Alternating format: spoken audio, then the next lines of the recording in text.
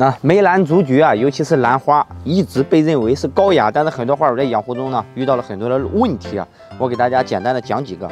首先第一个呢，就是说，呃，这个根为什么老是烂？你一定要了解啊。你看，我给你们打开看一下哈，你看，它的这个根呢叫肉质气生根，就是说它可以在空气里面吸收水分和养分。那你们大家伙遇到的大部分的植料呢？呃，一般呀都是花生壳啊，或者松树皮啊，又或者是会用一些椰壳，还有一些石子，比方说一些其他的颗粒，它们的根系呢都是这种，你看，都是这种肉嘟嘟的。有话说，为什么会这种空根呢？看到没？这种根，这不就空根了吗？全部空了。你一定要明白哈，就是说这个兰花的这个根部这周围啊，包括它这个根上边，它有很多的这种菌，有一些你比方说固氮菌啊、解磷菌啊。你要是说学过一点初中生物的话，应该你会了解一点点什么呢？就是这个大豆，它会长一些个，那个叫什么来着？那个叫什么？好像也是一种固氮菌，就是它可以固定空气里面的氮气，然后呢给它提供营养。那这个兰花根部的这些菌群呢就很复杂了，有很多种，一般呢都一百多种，它们是共生的。所以说呢。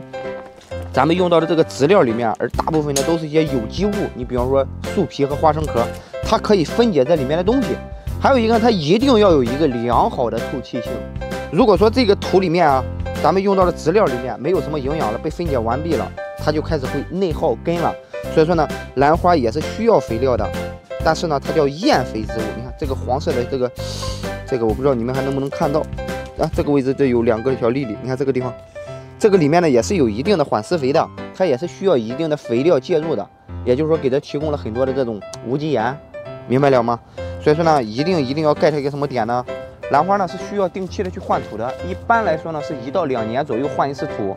很多花友养到嗯两三年不换，它就会把根系全部给吃掉了，来供给上面。这个时期呢就会出现各种的一个病了，你比方说呃黄尖儿啦、黄叶啦，营养不够了也不长了。所以说，该施肥的施肥，植料一定要定期的换。你只要注意这两个点。还有一个呢，就是会遇到一些黑斑。你看一些网红的话，会会会让你用一些杀菌药，杀菌药是肯定要用的。但是呢，如果说过分的用大量的杀菌药呢，就会把它的益生菌也给杀死。所以说，花儿们呀，一定一定要注意。培育一个兰花呢，该杀菌的是要杀菌，植料要做到无菌，整个的植株要进行杀菌。那之后呢，就是注意定期的换植料，适当的来一点点肥料，别的也没什么很多的大问题啊。尽量别用泥土。如果说你没条件的臭宝养兰花的话，可能会是一个很苦恼的事情。那下一期或者有时间吧，我给大家说一说这个兰花如何更换植料。好了，觉得不错记得点个关注啊。呃。哎，对，还有一个事就是，哎，花友们问这个为什么不开花？大部分的兰花呢都是在春秋天开，夏季高温，兰科石斛多肉类的它都休眠。这个时候你如果大量的用肥和大量的浇水的话，可能会导致腐烂或者说暴毙，懂这个事就行了。就不着急，点个关注吧。老花一会每天给大家分享很多有用的养花知识，我是老花一，养花最专业，来了，吃不？嗨，嘿嘿嘿嘿。